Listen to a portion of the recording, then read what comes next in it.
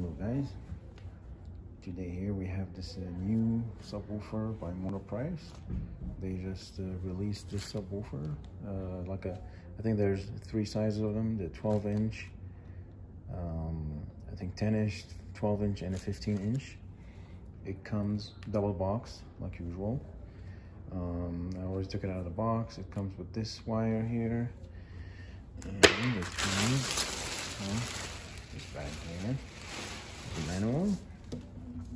That's the part number here for 1499, 15 inch, 600 watts. And then here, I think they have a typo here, package content. It says 12 inch, um, but this is a 15 inch. I think it's just the same document they use it for all of them. And these are the specs here. So you have, um, it's a downfiring port I'm not sure how big it is, but it doesn't look that big. We'll check it out here a little bit. 15 inch reinforced, so they already have the 12 inch, the $99, um, which is, this is very similar to it, except it's a little bit bigger and more powerful. Frequency response, you see here 30 to 150 hertz, um, but I think um, this house here uh, is different than the other one. So here it's, it's a floating floating floor, not a concrete slab like the other one. Um, so I think in room extension will be better um, in here. So it'll probably hit less than 30 hertz. Anyways, a variable flow filter, blah, blah, blah, 600 watts.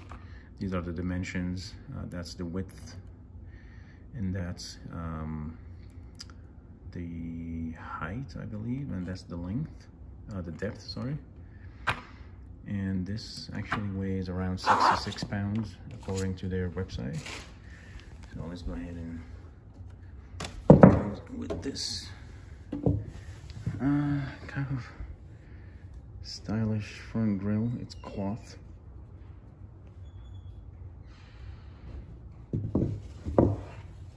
As you can see. And it's very thick actually this piece here. It's pretty thick. And it's got the Monoprice logo here at the bottom. And this is the driver. It's pretty heavy. But anyways, uh, the rubber surround is kind of stiff. And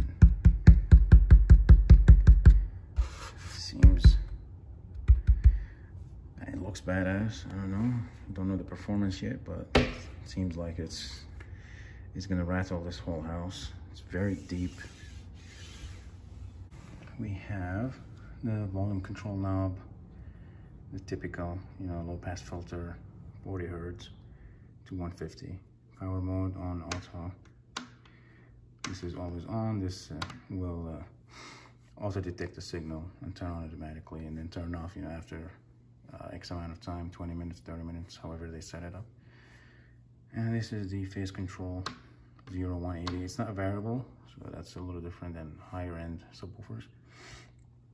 And you got these RCA inputs. And these are the high level speaker inputs. So you can you know, use the high level, the speaker in, speaker level in, sorry, um, inputs into it. And, you know, it's clean in the back here. No problems. This it's really big power cable here. And an on-off switch, looks like. Let me see if I can show you the bottom. So that's the port. It really looks very similar to the 12 inch $150 that they sell. Uh, but I wish the port is a little bit bigger or maybe they had dual ports at the bottom here. I'm just mostly worried about um, port noise and chuffing. So we'll have to hook this up and see how it's gonna sound.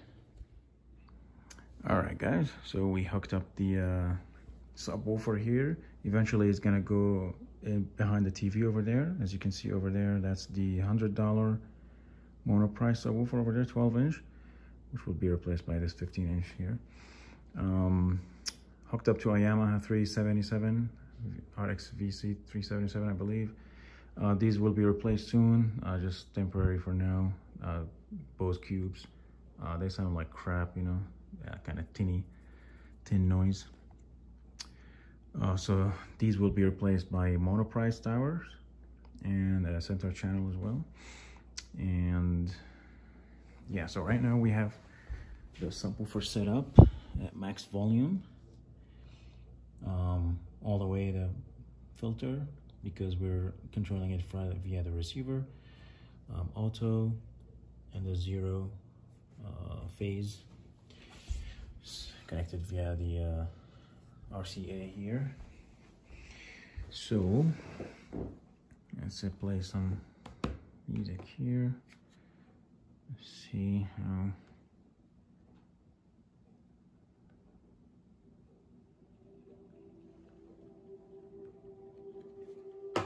The subwoofer actually sounds good, but when it hits the 20 hertz or somewhere around there, you know, 20, between 20 and 25 or lower than 30, I would say. Uh, the port noise, the chuffing noise is very bad.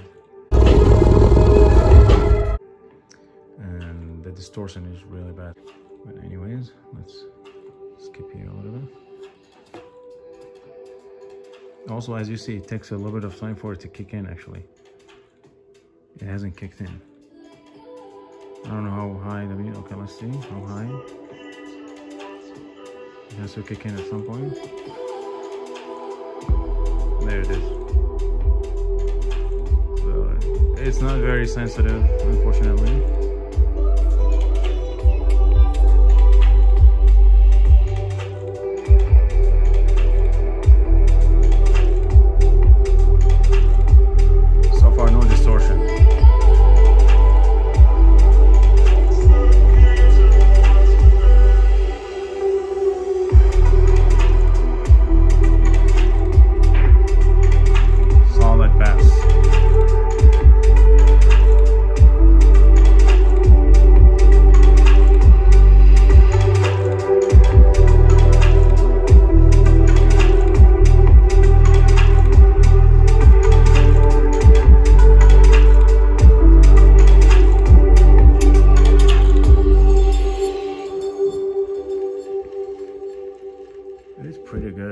Very strong actually.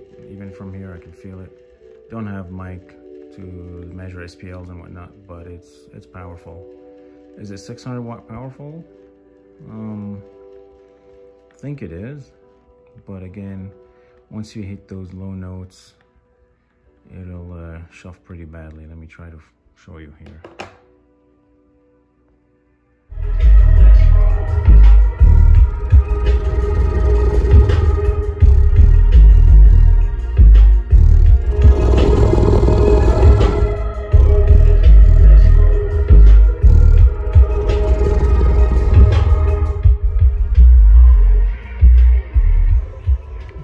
To hear the uh, this 20 hertz here, this track.